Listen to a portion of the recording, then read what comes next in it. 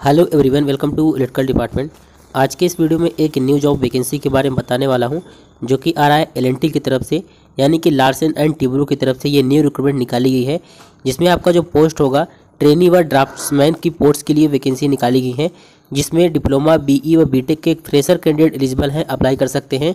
अगर आपके पास एक्सपीरियंस है, तब भी आप इसमें अप्लाई कर सकते हैं। तो एलएनटी की तरफ़ से फिर से एक बेहतरीन वैकेंसी है, इसमें आप लोग अप्लाई करके सेलेक्ट हो सकते हैं। कैसे अप्लाई करना है वीडियो के एंड में आपको अप्लाई करके दिखाएँगे। और क्या एलिजिबिलिटी क्राइटेरिया है कब, कैसे इसका एग्ज़ाम होगा, सारा कुछ आपको बताएँगे। तो कंप्लीट इन्फॉर्मेशन के लिए वीडियो को पूरा एंड तक देखते रहिए। साथ ही अगर आप चैनल पर नए हैं चैनल को ज़रूर सब्सक्राइब कर लीजिए। तो यहाँ पर आप देख सकते हैं, इसमें हम एल के ऑफिशियल वेबसाइट पर हैं। आप इसके करियर पेज को ओपन करेंगे। तो आज के ही डेट में काफ़ी सारी वैकेंसी पोस्ट की गई है।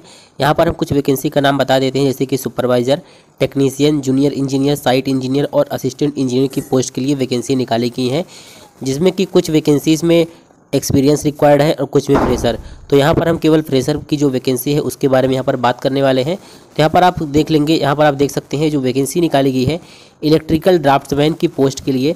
जिसमें कोई भी एक्सपीरियंस रिक्वायर्ड नहीं है। अगर आपके पास एक्सपीरियंस भी है, तब भी आप इसमें एलिजिबल होंगे अप्लाई कर सकते हैं। ज़ीरो टू फोर ईयर यानी कि अगर आपके पास एक्सपीरियंस नहीं है, तब भी अप्लाई कर सकते हैं। और अधिकतम आपके पास चार साल का एक्सपीरियंस है, तब भी आप इसमें एलिजिबल है अप्लाई कर सकते हैं। और ये वैकेंसी जो है, बिल्कुल लेटेस्ट है, यहाँ पर आप देख सकते हैं। बीस नवंबर को ही ये वैकेंसी पोस्ट की गई है। जॉब लोकेशन की बात करें तो इसमें जो जो आपका जॉब लोकेशन होगा, यहाँ पर देखिए जॉब लोकेशन दिया गया है। मुंबई आपका जॉब लोकेशन होने वाला है।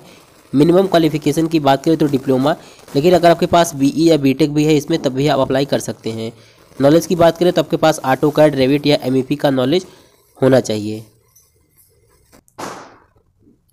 अब यहाँ पर आप देख सकते हैं, इस पोस्ट के लिए आपका क्या वर्क होगा कंपनी में।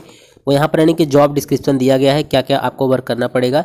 सारा कुछ इसमें दिया गया है, आप देख सकते हैं जॉब डिस्क्रिप्शन में। ठीक है अब बात करते हैं इसमें अप्लाई कैसे करना है। तो देखिए लार्सन एंड ट्यूब्रो में किसी भी वैकेंसी के लिए जो करियर सेक्शन वाले पेज पर आता है, उसमें अप्लाई करने के लिए आपके पास एलएनटी के एलएनटी में आपके पास प्रोफ़ाइल होना चाहिए। तो आप यहाँ पर देखिए क्लिक करके प्रोफ़ाइल यहाँ पर देख सकते हैं।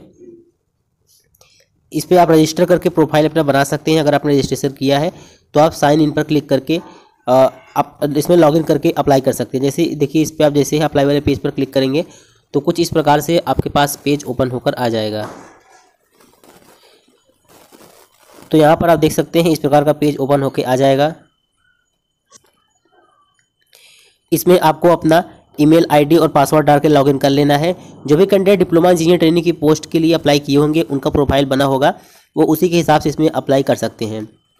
तो ये था इसमें अप्लाई कैसे करना है। अगर हम बात करें इसमें सैलरी का तो आपको कंपनी प्रोवाइड कर रही है लगभग एट एल का सीटीसी देखने को मिल जाएगा ड्राफ्ट्समैन की पोस्ट के लिए।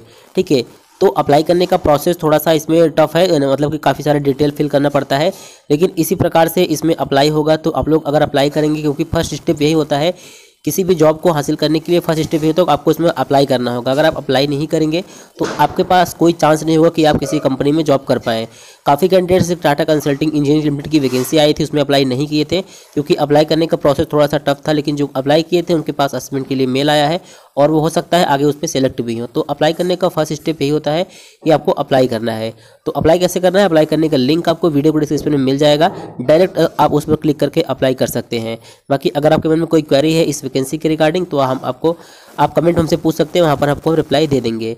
बाकी सिलेक्शन प्रोसेस हमने आपको पहले बता दिया है, आपको इसमें क्या होगा? अब सबसे पहले इसमें असेसमेंट हो सकता है या फिर personal interview medical test generally जो भी प्राइवेट कंपनीज़ होती हैं, उनका यही प्रोसेस होता है किसी भी कैंडिडेट को सिलेक्ट करने का। तो अब हम मिलते हैं नेक्स्ट वीडियो में।